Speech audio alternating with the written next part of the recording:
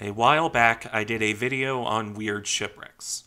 That video looked at ships like HMS Victoria and the Russian monitor Rusalka sticking almost vertically out of the bottom, as well as two destroyers that, if you're brave enough, you can walk around on.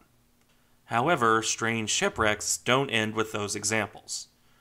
Honestly, they don't end with these examples either. If you have further ones, by all means, let me know. I'm keeping a running tally for future videos because these are fun to make. That aside, this particular video will focus on three examples two double features and a single special ship. Mostly because one of the examples consists of two ships right next to each other, and another involves two that are so similar they really need to be bundled in one section. With that in mind, let's get into it, starting with Submarine Lawn Darts. Morbid jokes aside, this is one of the double features. When I covered Victoria and Rusalka, I knew there was a German U boat off the coast of Denmark that was also poking out towards the surface. There was, however, another one in the Mediterranean that I was not aware of. As for the one off Denmark, that was U 3523, a Type 21 U boat, the most advanced German submarine of the war. A flawed design in many ways, but still very advanced for the mid 1940s. This particular submarine was sunk by a British B 24 bomber on May 6, 1945. However, in the lack of any wreck discovery, persistent rumors stuck around this submarine that she had escaped to South America, carrying anything from stolen gold to the man with the funny mustache himself, or, at the least, other high ranking German leadership. Of course, while we don't know exactly what was on the submarine, it doesn't really matter either. The British had, in fact, sent U 3523 to the bottom, and in so doing, created one of the most interesting shipwrecks found in recent years. She was discovered in April 2018 at a depth of 123 meters, or 404 feet. This is deep enough that you would need to be a very experienced diver to make such a dive. Couple that with abysmal sea conditions, and if there's any pictures of the wreck, I've not been able to confirm them. There's a picture of a hatch and a propeller floating around, but I can't say with absolute certainty where they came from. As such, I'll only use the sonar in this video. These three pictures are interesting in their own right. For example, you can see the submarine buried in the bottom. She must have gone down very quickly as the boat is buried up to her conning tower with the stern sticking up towards the surface. Not quite vertical, but all the same, it's a good half or so of the submarine poking out of the bottom. In the second image, it shows a cross section of the U boat along with a side view of the sonar. This also does a good job of demonstrating the angle the submarine is resting on the bottom. It looks almost like she tried to crash dive to escape attack, but was stuck in the dive until slamming into the bottom with enough speed to bury half the hull. The final sonar image reinforces that in a way. Namely, because where the submarine is buried in the bottom, there's a very visible impact crater. I'm not sure if I'm more impressed that U3523 has remained intact for so long, or that she didn't break in two upon impact. I'll admit the sonar might be exaggerating things, but look at the depth and the size of that crater. The amount of impact force to create that and bury half a submarine in the bottom isn't exactly small, to say the least. That being said, with the sonar done, I'll move on to the other U boats for this section of the video. Substantially less famous than the previous example, this submarine was sunk by a German mine off the coast of Italy on April 5, 1944. The submarine, U 455, mostly vanished from history at that point. She wasn't particularly successful in her career, nor was she famous as a wreck. In fact, until her discovery in 2005, the assumption had been the submarine sank near La Spezia, when in fact she sank closer to Genoa. Her wreck is on the bottom at around 120 meters, much the same as the previous submarine. However, unlike the more advanced boat, U 455, a Type 7C U boat, has been dived in some detail. As much detail as there can be, anyway, considering this is still a difficult dive. When it comes to the wreck itself, the differences with her more advanced cousin continue. Whereas U 3523 is buried by the bow, U 455 is the opposite. Her bow is pointing towards the surface, while her stern is on the bottom. This has led to some impressive pictures. The one on screen right now, for example. The overall condition on the wreck is a bit hard to make out, though. She's encrusted in sea life and draped in some fishing nets, which is about what you'd expect at this depth. When the submarine sank, about 30 feet or 10 meters of her stern was ripped off by the mine. However, much like with Victoria or Rusalka, there aren't really pictures that far down, probably because of how deep it actually is. Here on the screen right now is a painting. If accurate, this submarine has her stern poking up from the bottom at the end of the intact part of the hull. The conning tower, meanwhile, has been photographed. This area shows a lot of sea life, but it's still recognizable as what it was. That said, probably the most interesting thing about the conning tower is the open hatch. The submarine struck the mine at periscope depth, so I almost wonder if that was the crew trying to escape, or if it was alternatively forced open during the sinking. In any case, though, that rounds out the U boats. There are more pictures of U 455 out there, as seen here, so I may come back to her wreck for a dedicated video. For now, I'll do a bonus submarine and then move on. That bonus is arguably the most famous of the bunch I 58, the Japanese submarine that sank USS Indianapolis. This submarine was scuttled after the end of the Second World War off the coast of Japan. She was forgotten about at that point until May 25, 2017. A sonar survey found a submarine poking out of the bottom around 200 meters, 660 feet beneath the surface a submersible was sent down to confirm the identity of the submarine, which was apparently identified as I 58 based on the rudder. For as important, historically, as this submarine is, we only have the sonar. It does indeed show a submarine poking out of the bottom. Regardless, with that out of the way, let's look at the second example for today. In contrast to the submarine lawn darts, this will look at two wrecks for a different reason. Not because they're similar, although they are, but because they're right next to each other. Touching each other, in fact. Perhaps the most famous case of two ships sinking together that I can think of.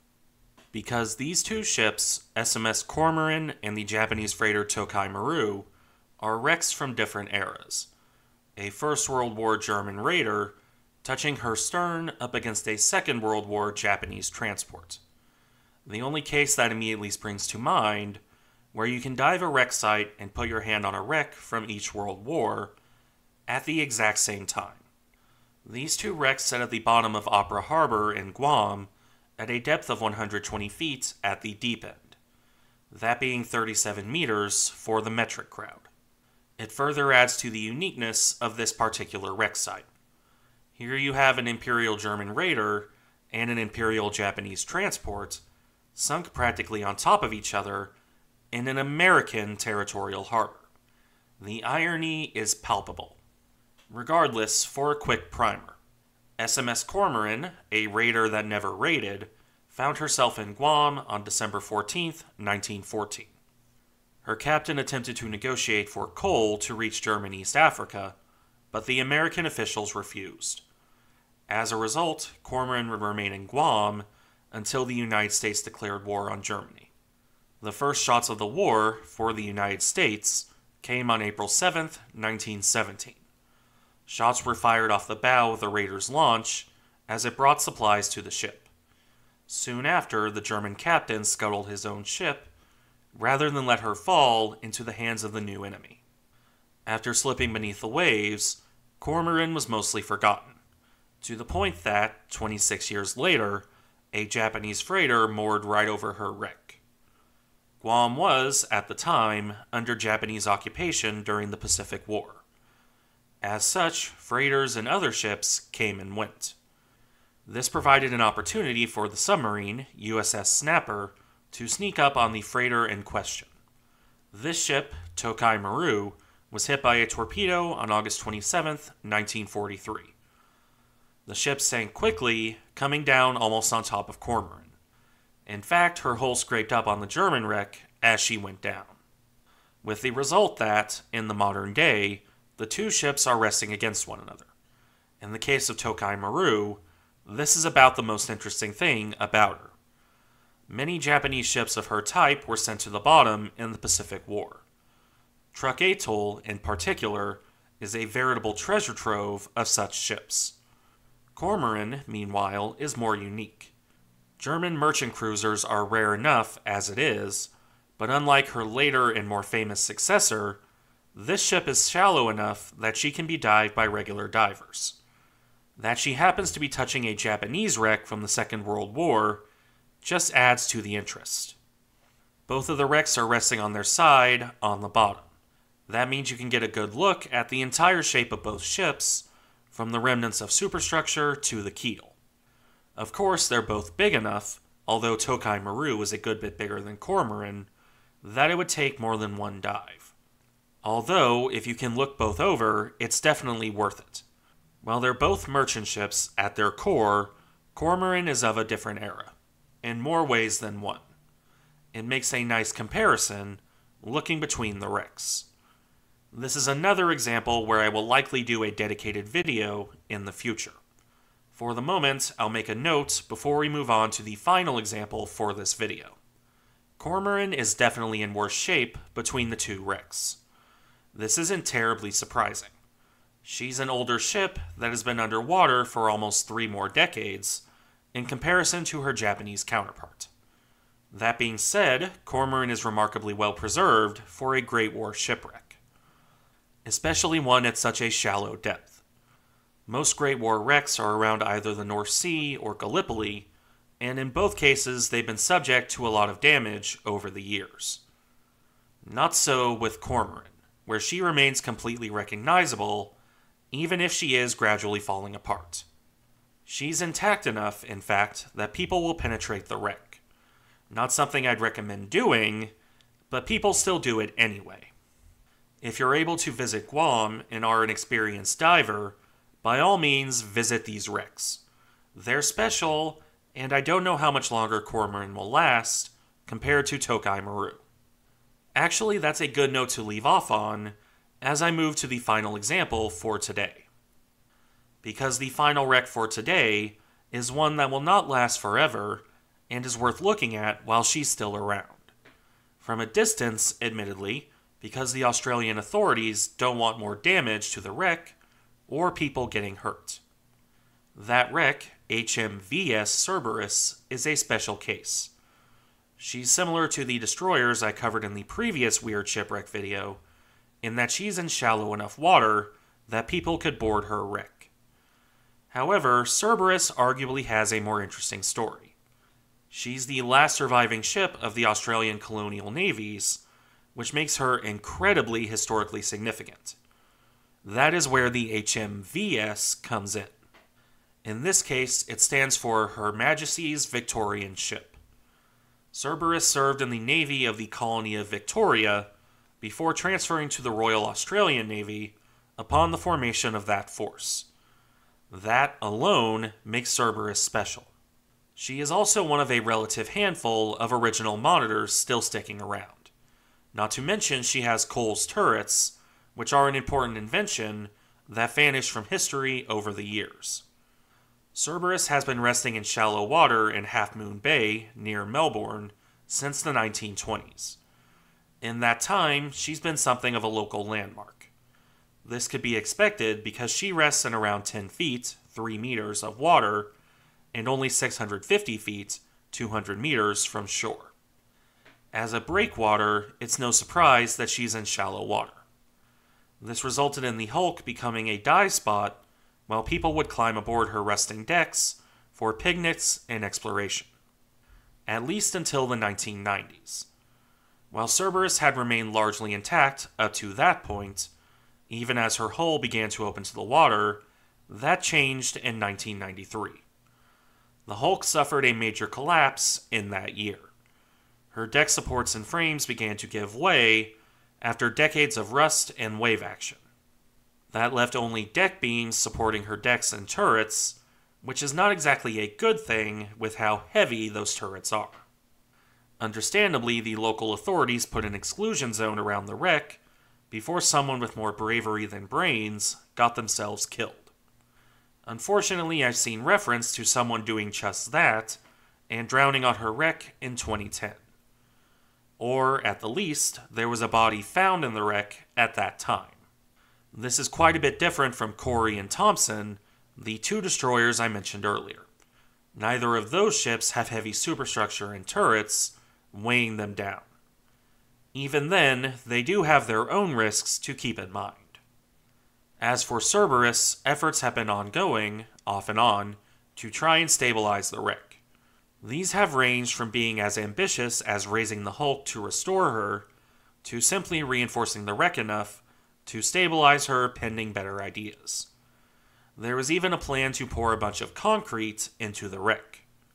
I think that's going beyond stabilizing to making a concrete mess vaguely shaped like Cerberus myself. In any event, Cerberus continues to deteriorate. Her guns were removed in the early 2000s, coated with preservative, and placed on the bottom next to the wreck. Her turrets remain clearly recognizable above the waterline, along with the remnants of her funnel. If you look at her from above, you can also see the hull form just beneath the surface. However, if something isn't done to preserve her properly, I don't know how much longer she'll last. That being said, we come to the end of the video. As I said at the start, I could easily do more videos like this, looking at other weird shipwrecks. If you have any suggestions, by all means put them in the comments below. Thank you for watching. Remember to like, comment, and subscribe if you enjoy the content, and I'll see you in the next one.